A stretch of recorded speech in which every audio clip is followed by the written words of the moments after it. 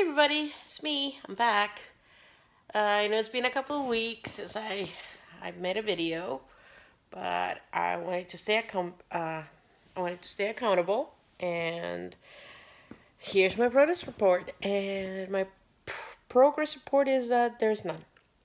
I had a couple really, really bad weeks. Uh, work was stressful, life was stressful, and I know I'm making excuses, but the good news is I did not lose, I did not gain any weight. I just didn't, I barely lost like a pound between the two days, the two weeks. So it hasn't been the greatest of weeks, but I'm back on the wagon.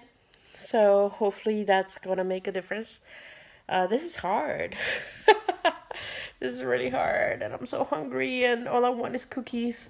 And uh, it was really tough, especially because we had the Vancouver Wine Festival and Nestor's Market had the most amazing, amazing coconut brie with pros uh, prosciutto and, and this really good baguette that went really, really well with cheese and that went really, really well with wine. So, oh my God, temptation is everywhere. Oh, but the good news is I did not gain any weight. I just kind of stay flat, maybe like a pound. So, yeah, this is tough. And I'm learning a lot about myself, about how I eat under stress. Like, stress is a huge trigger for me. I don't even notice that I'm eating. Um, my son gave me the scare of my life. He decided to uh, hide in Walmart for like 10 minutes and I'm freaking out because I thought I lost them. And when I came home, it's like of cookies, a bag chips is just gone. And uh, that's my comfort. And I need to find different ways to comfort myself because life is stressful, especially when you have a, a little kid who's as mischievous as my baby in Run City.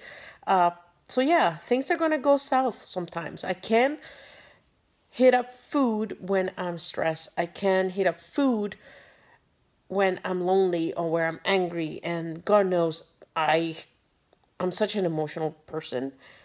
So that is definitely something that I've learned about myself and you might think that it's like, well, you know, like you didn't know that about yourself. I'm like, well, I didn't. But I do now. So another thing that's going to help this week is that I'm starting an exercise regime.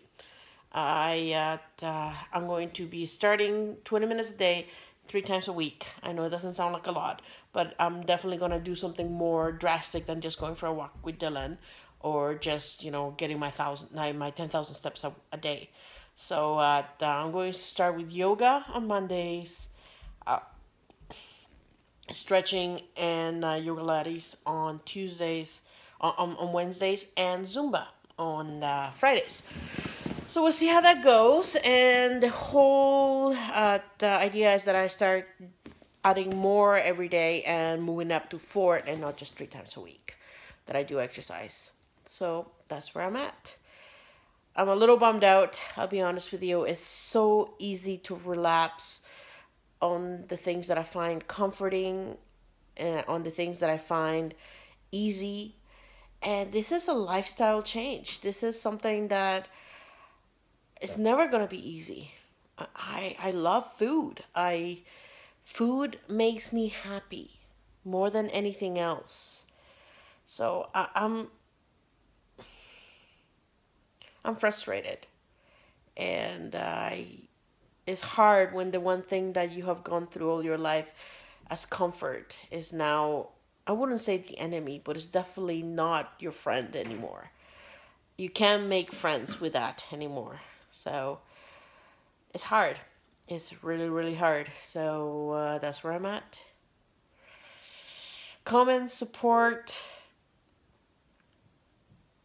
leave it below. I could you I could use a little pick me up. I'll be honest. So thanks for watching, guys, and uh, I promise next time it won't be two weeks. I'll be more diligent. Bye.